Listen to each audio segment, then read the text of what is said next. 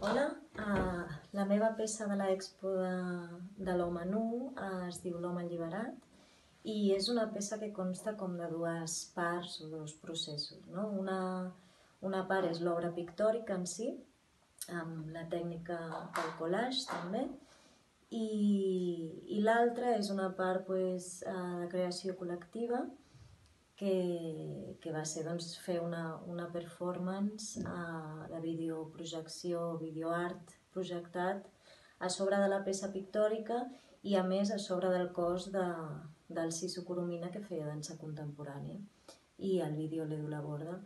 Eh, aleshores vam fer una performance el dia de la inauguració al Museu de Cerdanyola i, i també el vídeo doncs, està reproduint en un monitor al costat de, de la meva peça.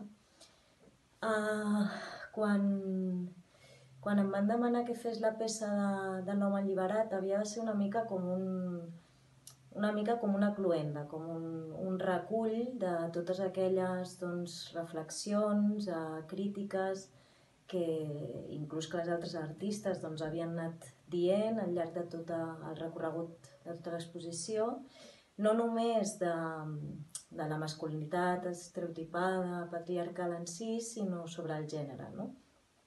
I havia de ser una mica com fer com aquesta funció una mica com aglutinant i representar aquest alliberament, no?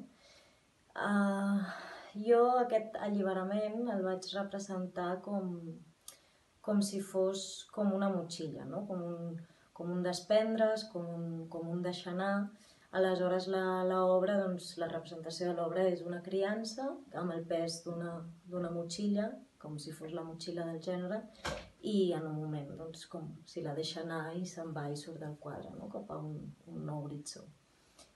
Eh, bé, és una mica això, doncs, representar com aquest pes del gènere no? que carreguem des de que som criances i, i per mi una mica això era com, com l'alliberament.